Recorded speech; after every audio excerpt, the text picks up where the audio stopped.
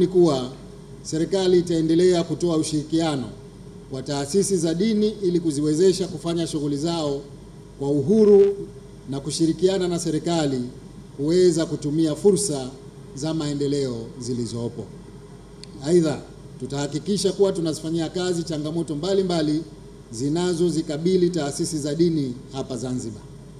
Nachukua fursa hii kukupongezeni kwa uamuzi wa kuandaa harambee maalum ya kuchangisha fedha kwa lengo la kulifanyia matengenezo makubwa kanisa la minara miwili kwa kuzingatia kuwa limejengwa zamani na pia limeanza kuonyesha hali ya kuhitaji ukarabati.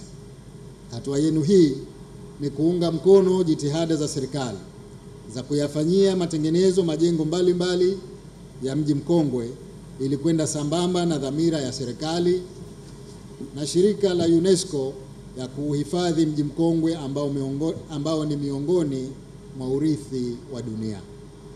Kwa upande mwingine, uimarishaji wa majengo ya mji mkongwe likiwemo kanisa la minara miwili ni katika jitihada za kuimarisha utalii ambao ni tegemeo kubwa la uchumi wetu katika kutupatia fedha za kigeni.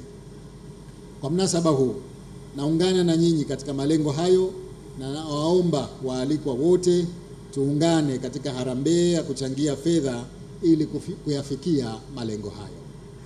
Kwa kazi hii muhimu, napenda mimi na mke wangu Mariam tutachangia shilingi milioni mia moja.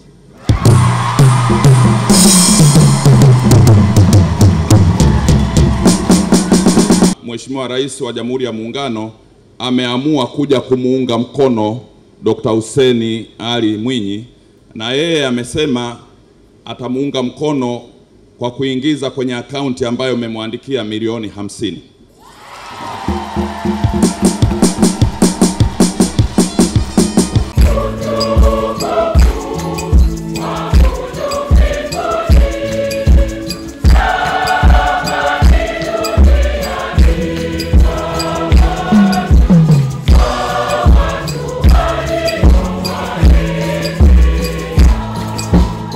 Upofu wa kutoona zuri katika mioyo ya watu.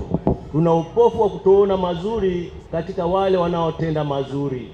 Tuna upofu kwa sababu ya wivu wetu, hatuoni mazuri yanayofanyika na serikali yetu. Kila kinachofanyika na serikali kikaonekana na mpinzani, hata kiwe kizuri namna gani, mpinzani huyo hata sema kimefanyika vizuri. Ni upofu uliojazwa na wivu. Sisi ni binadamu, ni mwili na damu, kila mtu ana makosa na tabia zake. Tunafanya kazi kwa unyenyekevu na kwa uyakinifu, lakini mara nyingine tunakosea. Pale ambapo limefanyika zuri, hatuna budi kusema hapa ni zuri. Ni nani ndugu zangu kati yetu tuliyekaa hapa na limetoka Zanzibar hii atakataa kwamba hakuna mabadiliko mazuri ya uchumi wetu na maendeleo ya kisiwa chetu? Kuna wengi wanasema miaka sitini na moja na sitini na mbili ya uhuru hatuoni maendeleo yoyote. Ukija Zanzibar hii unaona barabara zinajengwa vijijini, na wengi wanasema huyu anatusumbua, kila mahali ni mabati. Wanataka maendeleo yapite hewani. Kuna upofu wa kutoona mazuri katika maisha yetu. Kuna upofu pia wa kutoweza kujua uwezo wa mwenzako. Hatuwezi kufananisha marais wetu nane waliopita kisiwani, kila mmoja ana karama zake na kila mmoja amecheza cha kwake, lakini tunazidiana kwa uwezo, tunazidiana kwa vile vipaji Mungu alivyotujalia, lakini kinachohitajika zaidi katika utendaji huu kama tunavyoelezwa na huyu aliyeponywa leo ni uadilifu na, na, na, na upendo wa kuona mahitaji ya wengine wengi.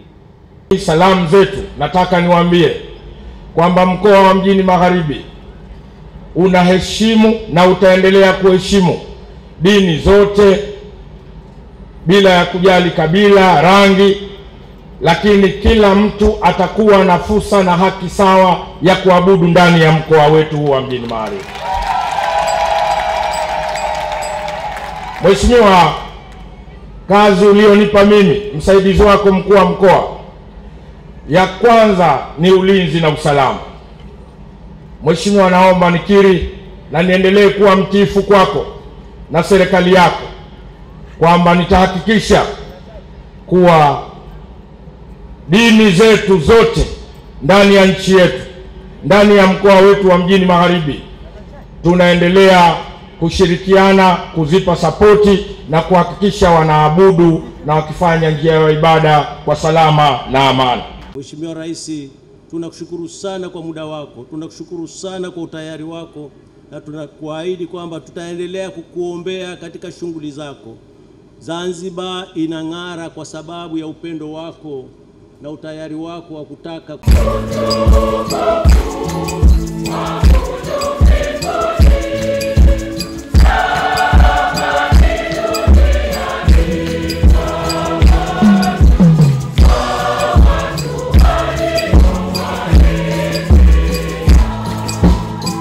upofu wa kutoona zuri katika mioyo ya watu. Tuna upofu wa kutoona mazuri katika wale wanaotenda mazuri. Tuna upofu kwa sababu ya wivu wetu, hatuoni mazuri yanayofanyika na serikali yetu. Kila kinachofanyika na serikali kikaonekana na mpinzani, hata kiwe kizuri namna gani, mpinzani huyo hata sema kimefanyika vizuri. Wenye upofu uliojazwa na wivu. Sisi ni binadamu, ni mwili na damu, kila mtu ana makosa na tabia zake. Tunafanya kazi kwa unyenyekevu na kwa uyakinifu, lakini mara nyingine tunakosea. Pale ambapo limefanyika zuri, hatuna budi kusema hapa ni zuri. Ni nani ndugu zangu kati yetu tuliyekaa hapa na tumetoka Zanzibar hii atakataa kwamba hakuna mabadiliko mazuri ya uchumi wetu na maendeleo ya kisiwa chetu? Kuna wengi wanasema miaka sitini na moja na sitini na mbili ya uhuru hatuoni maendeleo yoyote. Ukija Zanzibar hii unaona barabara zinajengwa vijijini, na wengi wanasema huyu anatusumbua, kila mahali ni mabati. Wanataka maendeleo yapite hewani.